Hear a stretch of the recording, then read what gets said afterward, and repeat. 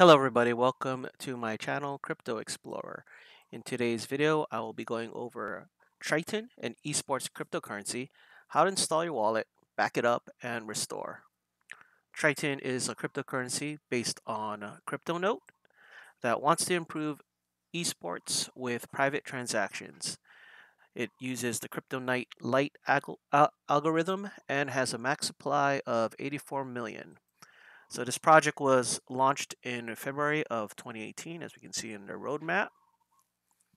Um, and it's pretty much still in the early stages of development. You can see in their roadmap that they have accomplished what they have accomplished so far and all the milestones that they've hit. Um, and they're right now here at quarter two. They also have another uh, project called Neptune.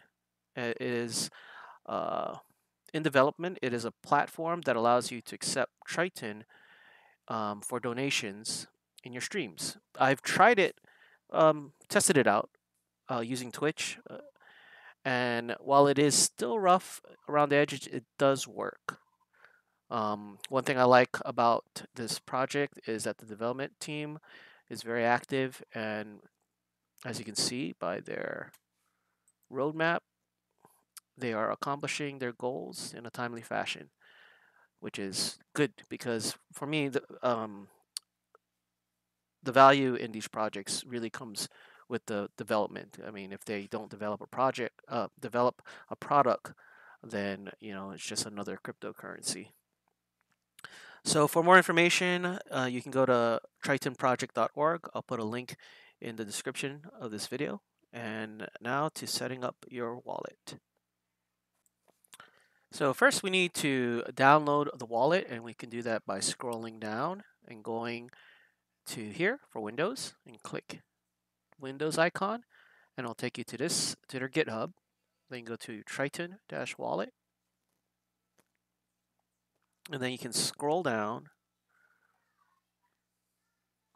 and go to this link where it says wallet releases. And click on the Triton 2.8 zip and download it. To save some time, I've already downloaded it. Let's go over here. It's in my downloads folder.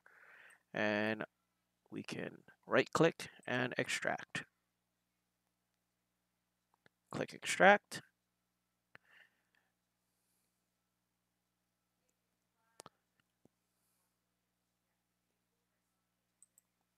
And we go to folder over here and we can see the wallet application is here. What I like to do um, I'm just going to rename this to Triton.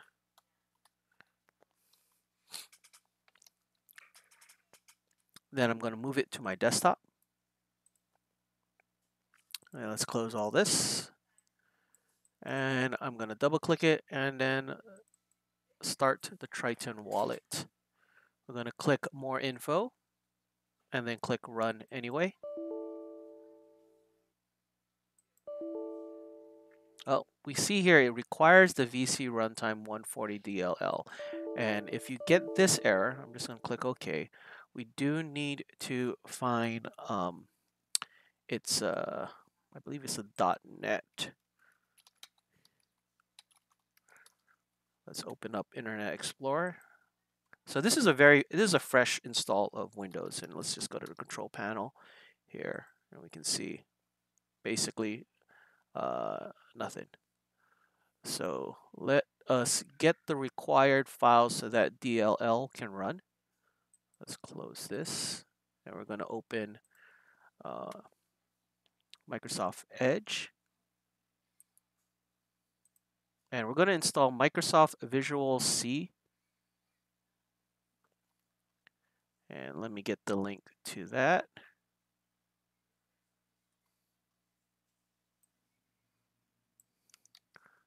And you want to make sure you get it you the link is from the Microsoft website.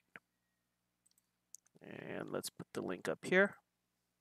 And I'll put the link in the description as well.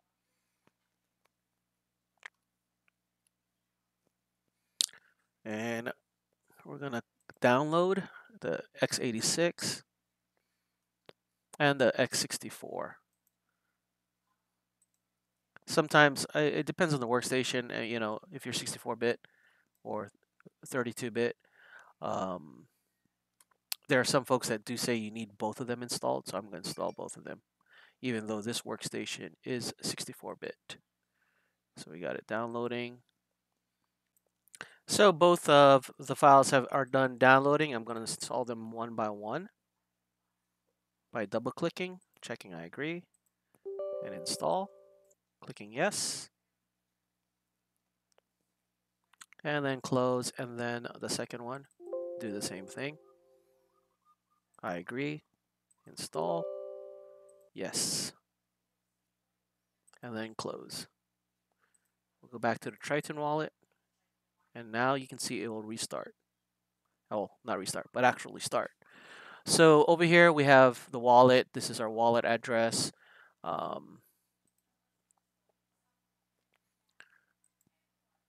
as you can see, you can mine within. So if you click start mining, it's going to mine to this wallet. I'm just going to click stop. And you can have contacts, transactions, send, pretty pretty normal wallet. So what we want to do is I do have another wallet that I've backed up. I'm going to back up this wallet just to show you how we can uh, back it up. So, but before we do, um, let's encrypt it. So click settings, encrypt, give it a password.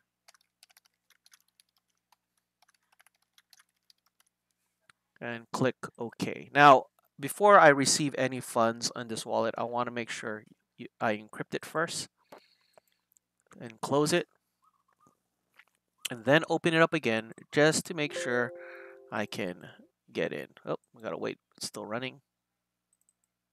Okay.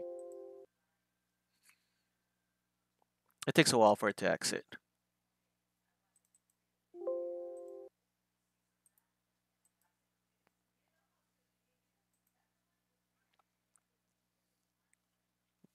Yeah, it's still running. Let me force close it.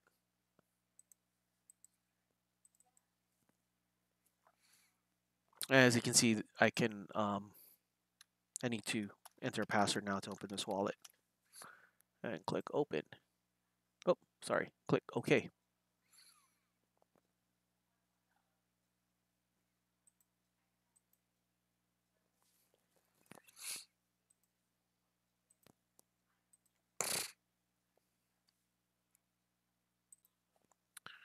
Now that the wallet is encrypted, the next time you start the wallet, you'll be prompted for a password.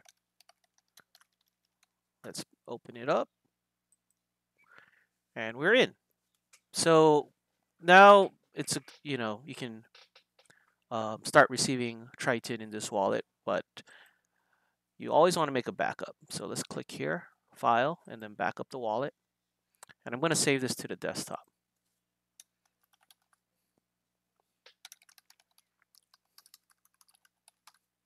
And click Save.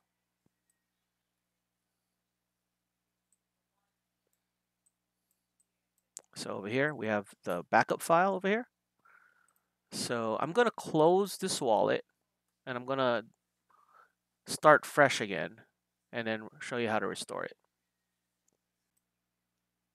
So I reset this virtual machine and um, basically uh, um, what it does is it um, sets the, the computer back before I install the Triton wallet. And we're going to just go to where Triton uh, stores the wallet file by clicking the search bar and typing percent app data percent and hitting enter. So you can see some of the other wallets I have installed on this computer. Notice Triton is not here, but when you double click Triton for the first time, it does create a folder and a new wallet. And this is the wallet file that you can see, this Triton wallet.wallet. To restore your wallet that we backed up earlier, let's exit Triton, file, exit, and wait a bit. Sometimes it takes a while for it to close. If you don't wait for it to close and you just exit out, um, it will still be running in the background. So let's wait for it to close up completely. There we go. And then we're going to copy this, or actually we'll just move it. We're going to move this backup file here. and we're just going to rename the Triton dot Triton wallet dot not wallet to Triton dot wallet. And to, to rename, you can right click it and go to rename. And then I'm going to just add dot BAK and then click yes. And then I'm going to rename the backup. Right click, rename to Triton wallet. And then when I click outside of that, it's going to rename it. So now that the backup wall wallet file is in here and been renamed, we're going to restart Triton and it should prompt me to for a password. There we go, because we encrypted it.